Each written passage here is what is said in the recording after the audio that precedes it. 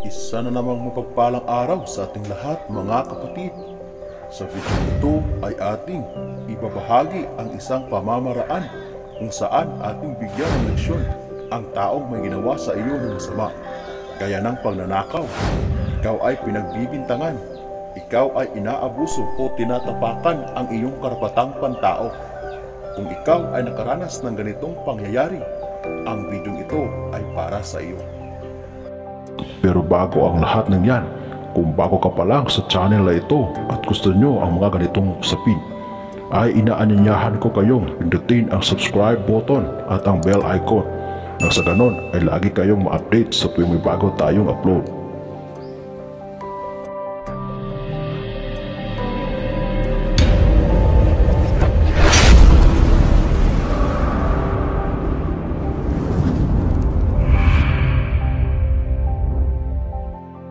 Kung ikaw ay nakaranas ng pang-aapi at pagmamalabis, ito ay para sa iyo.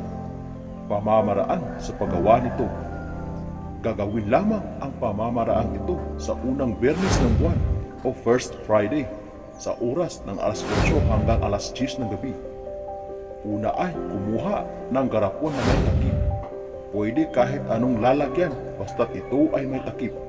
Kumuha din ng larawan ng tao na iyong gagawan ng ritual o ang iyong target. Sulatan ang picture ng kanyang buong pangalan na naka-all capital letters. At saka sa ibaba ay isulat ang kanyang naging kasalanan sa iyo. Kumuha din ng pitong pirasong sili, tatlong kandilang kulay itim. Kung walang itim, pwede ang puti pero mas maganda o mainam kung ito ay itim. At kumuha rin ng tatlong piraso ng pako na may kalawang. Bawal po gamitin ang bago. Dapat po ito ay may kalawang na. Ito na po ang gagawin. Una ay buksan ang garapon at ipasok ang tatlong kandila. Dapat ito ay sindihan at dapat ito ay maubos sa garapon. Pagkatapos, sunod mong gagawin ay ipasok sa garapon ang larawan o picture ng iyong target. Sunod ay ipasok ang sili. Dapat ito ay nakapatong sa picture o larawan at ito ay durog na. At sunod mong gagawin ay ilagay ang tatlong piraso ng pako sa ibabaw. Kung naisagawa mo na ito, ay magdasal ng pitong sumasampalataya hanggang sa ipinako sa krus at sambitin ang pangalan ng target. Sa bawat dasal mo ng isang sumasampalataya hanggang sa ipinako sa krus, ay sambitin ang buong pangalan sa huli ng iyong target.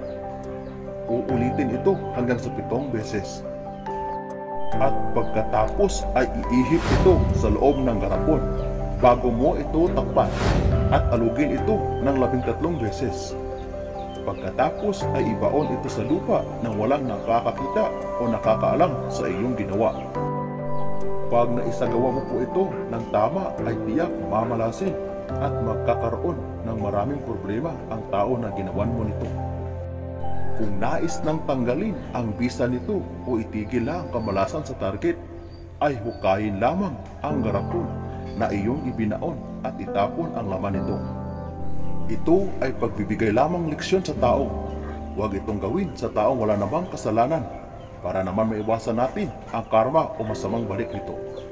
Gawin ito ng may pananalig, paniniwala na ito'y magkatotoo at gagana para sa iyo.